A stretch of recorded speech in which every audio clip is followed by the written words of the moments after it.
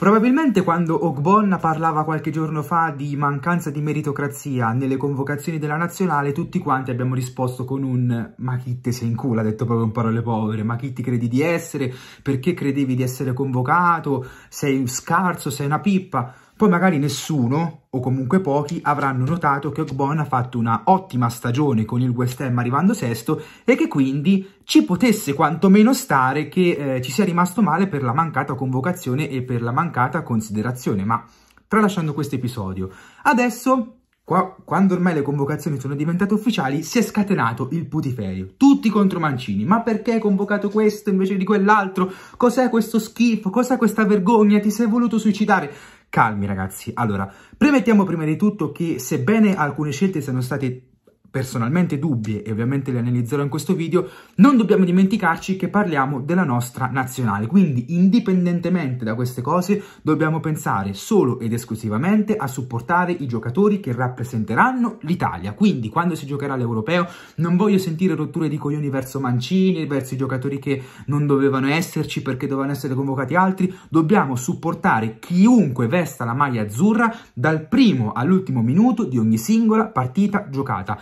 È una premessa che volevo fare perché sto vedendo troppe polemiche rispetto all'effettivo all episodio, anche perché, per quanto comunque ci sono giocatori che dovevano essere convocati, non è che abbiamo lasciato a casa Messi e Ronaldo, per intenderci, o del Piere Totti, rimanendo in ambito nazionale.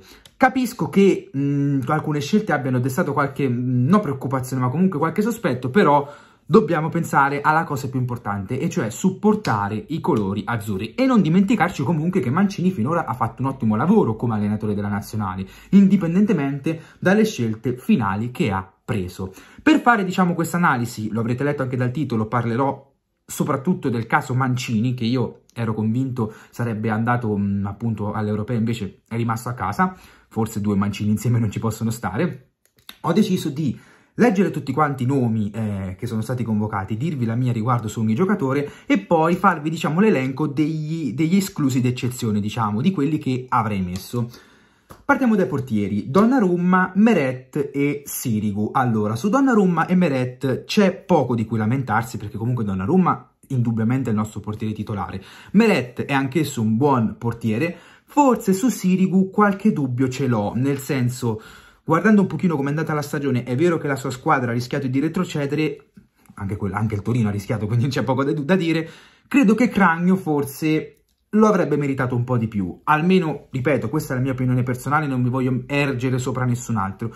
Credo che Cragno, come premio comunque per essere un portiere di livello da diversi anni, poteva meritarsi questa convocazione. Sirigu invece lo vedo un po' in fase calante, magari ha voluto Mancini ha voluto dare questo premio, visto che, sta, che sta arrivando alla fine della carriera, probabilmente questo è il motivo, però guardando un po' di meritocrazia, secondo me Cragno poteva tranquillamente starci. Passando al reparto difensivo, Acerbi ci sta. Acerbi è indubbiamente il difensore migliore della Lazio, uno dei migliori in Italia, quindi è giusta la convocazione, così come quella di Bastoni, fresco vincitore del campionato italiano, protagonista comunque nella difesa dell'Inter, non è che parliamo di un giocatore gregario che ha semplicemente fatto parte della rosa, è stato un punto fondamentale nonostante la giovane età e quindi ci sta tranquillamente. Passiamo adesso ai due nomi un po' polemici, Bonucci e Chiellini. Indubbiamente Bonucci e Chiellini sono stati una colonna portante della Juve prima e anche della nazionale. Su questo c'è poco da dire. Guardando però come è andata questa stagione, averli convocati entrambi a discapito comunque di un Mancini, finita la difesa ne parleremo, non lo so, mi è sembrato un pochino strano. È vero che comunque portano esperienza, cioè conoscono il gruppo, quindi uno dei due comunque l'avrei chiamato, sono sincero. Tutti e due forse è un po' troppo più che altro considerando chi è tenuto fuori. Magari si poteva scegliere un Chiellini, oppure se non hai fiducia dal punto di vista fisico, Bonucci che è comunque un leader della difesa, possiamo dire. Tutti e due forse è un po' troppo, ecco. Lo ripeto, non parliamo di una scelta folle, però discutibile sì, possiamo dire questo. Di Lorenzo e Emerson. Allora, Emerson ha vinto la Champions con il Chelsea e seppur non da protagonista è da anni che è su ottimi livelli, lo abbiamo visto noi alla Roma, poi col Chelsea è cresciuto ancora di più, quindi va benissimo come scelta.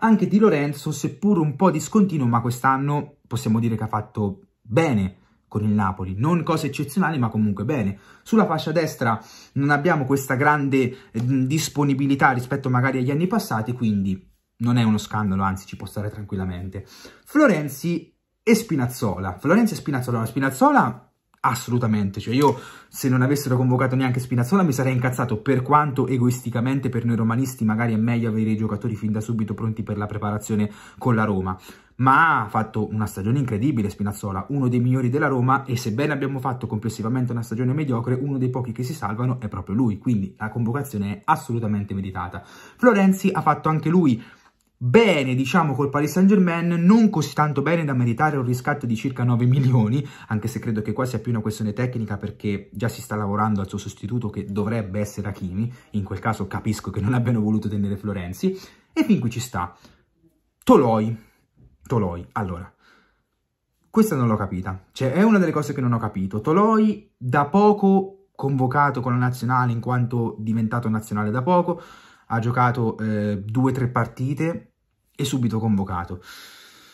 Ecco, io questa non l'ho ben capita, sono sincero, cioè è vero che anche lui ha fatto una discreta stagione, però rimanendo sempre sull'ambito Mancini, aver preferito lui al Mancio è stato un po', un po' dubbia come scelta. E qui arriviamo appunto a Mancini.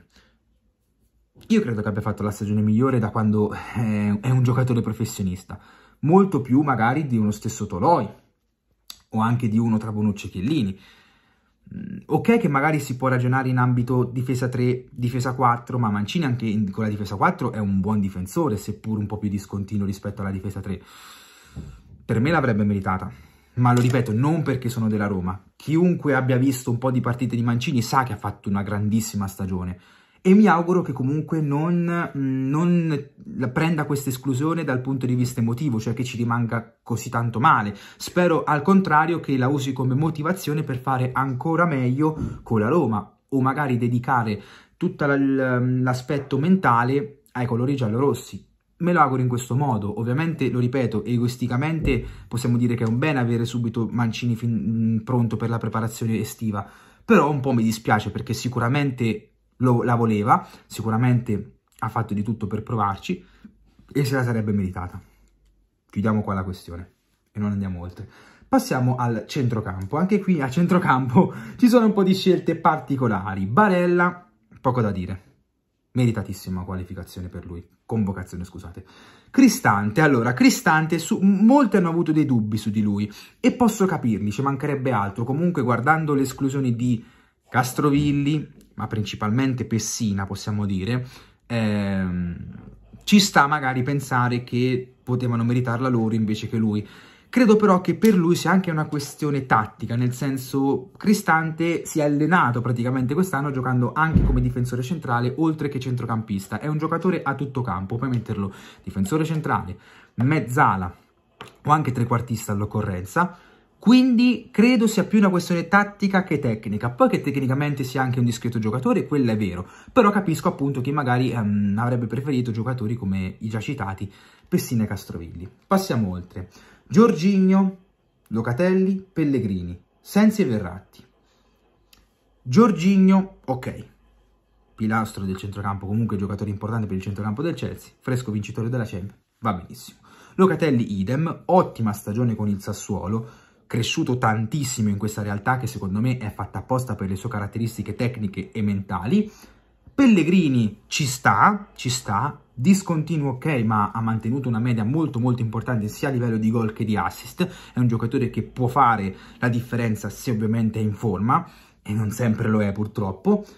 Sensi e Verratti, allora Verratti ok, ci sta, Sensi no, proprio Sensi no, ok, è un ottimo giocatore, ma fisicamente non c'è, fisicamente non è una certezza. Quest'anno con l'Inter non ha giocato mai. Tu devi giudicare anche l'ultima annata che, che, i giocatori hanno fatto con la propria squadra, non la loro esperienza, la loro carriera o quello che hanno fatto negli anni precedenti. Nell'ultimo anno un giocatore perché si impegna? Per dimostrare di essere ad alti livelli. Se un giocatore come Sensi, lo ripeto, buonissimo quanto vi pare, non gioca mai, non ha mai dimostrato le proprie qualità sul campo, come puoi dire l'ho convocato perché lo ha dimostrato sul campo? Come?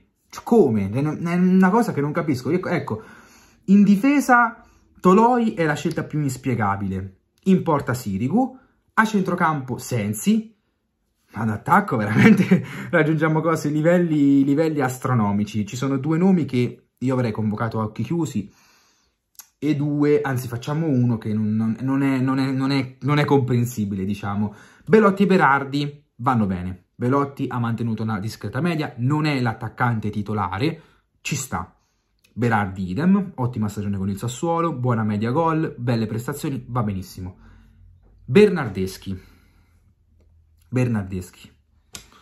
Ditemi voi Bernardeschi cosa ha fatto di positivo per meritarsi la nazionale, la convocazione agli europei. Un gol al San Marino? Non lo so. Alla Juve lo odiano, non lo possono vedere. Giocatore insopportabile, non azzecca niente, gioca 20 minuti a partita e sbaglia pure 25 minuti a partita. Cosa ha fatto lui per meritare la convocazione? Non lo so, scrivetemelo nei commenti. Questa non l'ho capita. Le altre, Chiesa, Immobile Insigne, qua penso che nessuno possa dire A, quindi passiamo direttamente oltre. Raspadori, allora Raspadori ha indubbiamente fatto bene con il Sassuolo, giocatore promettente, giocatore in rampa di lancio, non è uno scandalo aver scelto lui, magari rispetto a Bernardeschi. Però, guardando un pochino le due esclusioni eccellenti, l'avrete già capite, Politano al posto di Bernardeschi e Ken al posto di Raspadori, un po' di dubbi ci sono. Ecco, perché riguardo Politano non capisco perché non sia stato scelto lui al posto di Bernardeschi. La posizione è la stessa. Politano è stato uno dei migliori del Napoli. Ottime prestazioni, gol, assist, belle giocate. Che doveva fare di più Politano per essere convocato? Solo perché si chiama Politano o magari gioca nel Napoli? Io lo, ripeto, non penso che sia una questione di squadra in cui uno gioca, però cosa ha fatto di più Bernardeschi per meritare la convocazione al posto di un Politano? Raspadori non è uno scandalo, ma Ken al posto suo non sarebbe servito di più? Professionalmente ok è dubbio, però qualitativamente è un buonissimo giocatore. Averlo lasciato a casa, lo ripeto, non è come per la Francia aver lasciato Benzema, per intenderci, però è una scelta un po' dubbia, quindi capisco le, mm, che queste convocazioni siano state un po' contestate. Poi, lo ripeto, non bisogna dare un'importanza eccessiva a queste cose perché la cosa più importante è supportare la nazionale. Però queste convocazioni mi hanno lasciato un po', un po sorpreso. Per quanto riguarda la Roma ci saranno tre giocatori, Cristante, Pellegrini e, eh, e Spinazzola, e Florenzi se vogliamo perché comunque tornerà da noi. Quindi ecco, fatemi sapere voi nei commenti cosa ne pensate di queste scelte, quali giocatori avreste chiamato voi al posto di altri. Ecco, non ho, non ho, altro da dirvi, scrivetemelo nei commenti, lasciate un mi piace e se volete iscrivetevi al canale se ancora non l'avete fatto. Ci vediamo più tardi, se riesco e me lo auguro di cuore, per il video dedicato ai giocatori che terrei e sbolognerei della Roma attuale, video che mi avete richiesto in tanti, quindi spero di riuscire a portarvelo in tempo. Un saluto sempre comunque Forza Roma, riguardo ovviamente il video Forza Nazionale, Forza Italia e ci vediamo al prossimo video. Ciao ragazzi!